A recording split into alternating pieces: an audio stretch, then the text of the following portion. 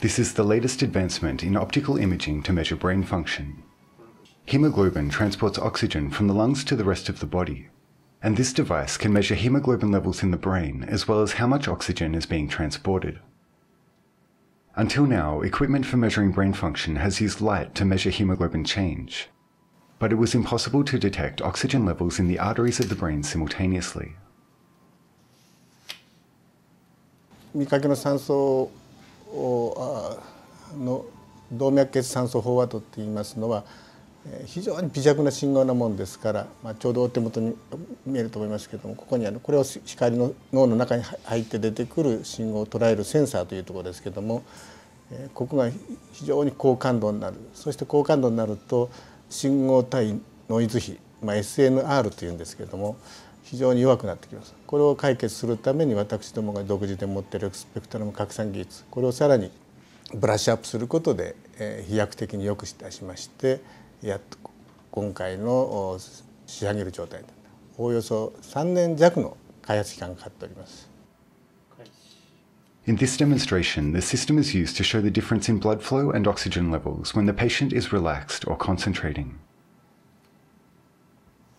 脳の中の血流をどうやって測ってるかという基本原理はここにございます、えー、ちょうど私どもの機械でいくと12個の円が見えると思いますがそのうちの半分交互に赤い光が出てます。えー、ここから脳に向かって光が入ってきます。それに対してこの光ってない点これが脳から戻ってきた光を受け取るセンサーなんですね。そうすると例えばここから出た光は、うん、と脳の中に潜ってここへも到着するしここへも到着する。そうするとここへはいくつどのくらいの信号できたここへはいくらいの信号できた。ということでどの場所でどんだけの血液の変化があったかということが分かるということです。これをこの状態にすると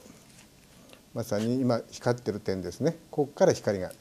脳の中に入っていく一方交互に置いてありましたあの俗にセンサーと言ってるこの部分で、え信号を捉えるということでやります。ただ光がだいたい5万分の1ぐらいに落ちますのでものすごく弱い信号いわゆる微弱信号と言われてる信号ですので非常にまあその信号を捉えるのにあの高度な技術が必要なわけですね。